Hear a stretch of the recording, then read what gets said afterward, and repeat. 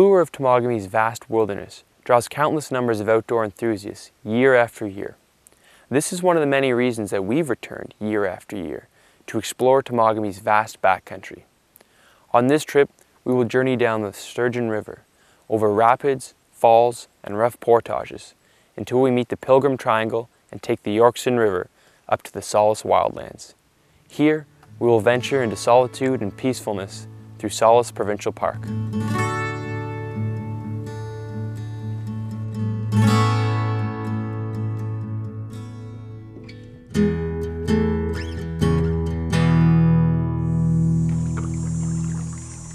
Traveling the rugged Sturgeon River, we encountered ever changing scenery, from long, slender lakes to narrow river channels, rapids, and shallows. Many of the rapids are easily run and create brief but exciting whitewater thrills.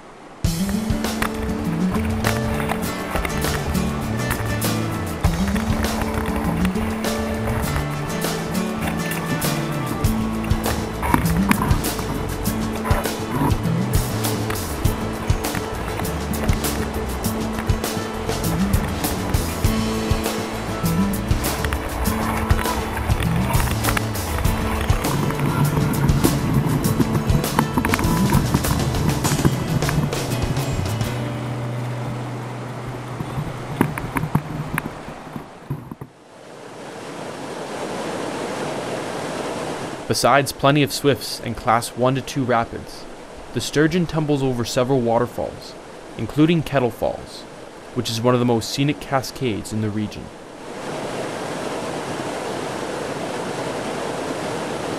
Of course, the numerous rapids and waterfalls meant that it was often necessary to leave the river behind and portage our gear. While many of the portages on this route are short in nature, generally averaging under 300 meters. They're not that simple.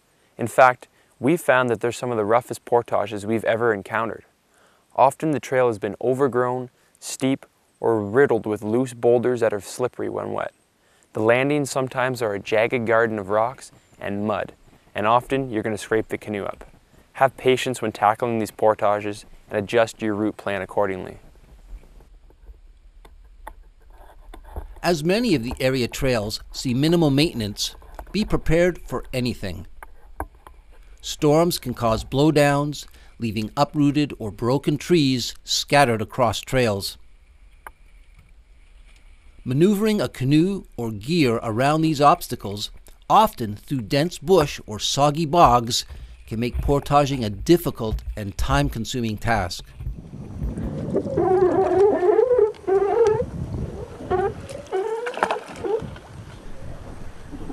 In late summer, low water levels may be encountered, turning once flowing creeks and streams into a shallow, muddy mess. Forward progress in a fully loaded canoe can be extremely slow.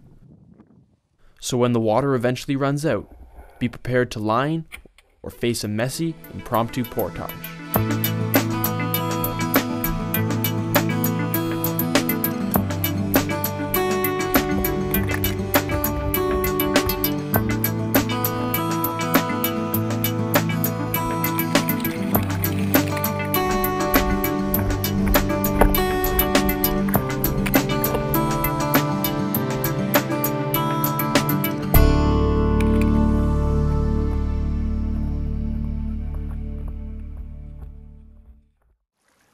We stopped for a lunch break on this little island on Yorston Lake. This is a site where in 1946 a small airplane crashed and burned. Now from the shore you can see some wreckage, there's a bit of metal and a bit of wood, but not too much is down there. But we decided to put on our masks and snorkels and take a closer look.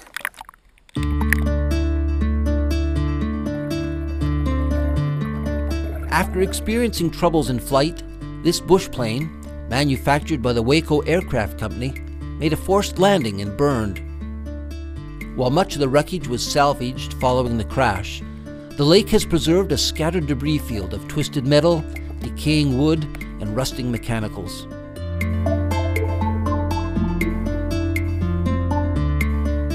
Be sure to bring a mask and snorkel to fully explore the wreckage and dive into a part of Temagami's history.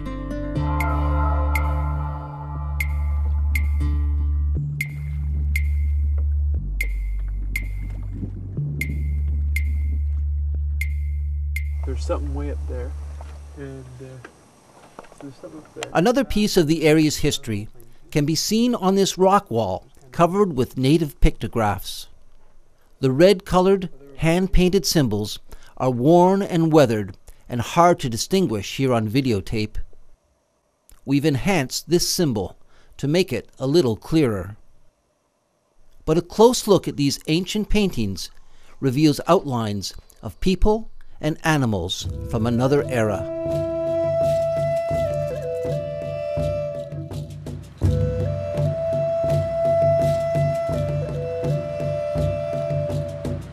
As we paddled deeper into Temagami, we journeyed through the Solace wildlands, a roadless and pristine expanse of wilderness. This area is characterized by large tracts of old growth, high peaks, and rustic campsites. A few days spent paddling through this wilderness is truly a spiritual and thought provoking experience, where the only assault on your senses is the haunting cry of the loon.